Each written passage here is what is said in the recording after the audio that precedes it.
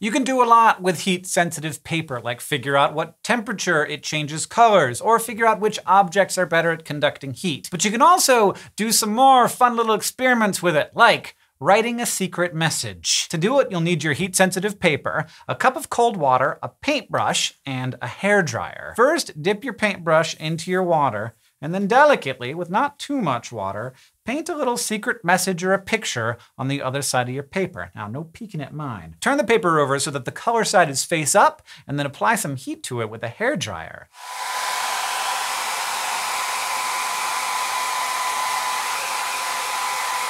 Ooh. And voila!